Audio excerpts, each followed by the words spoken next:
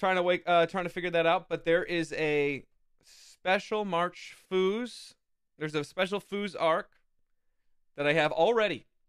There's a cinematic for it. In fact, I mean you've seen the prank one, but there's another part of it that I haven't showed yet because it's spoilers. But it's gonna be really good. So I'm talking with. Sorry, I'll turn down the music just a bit. I'm talking or uh, uh, organizing it with Foosley to figure out when the arc would be good.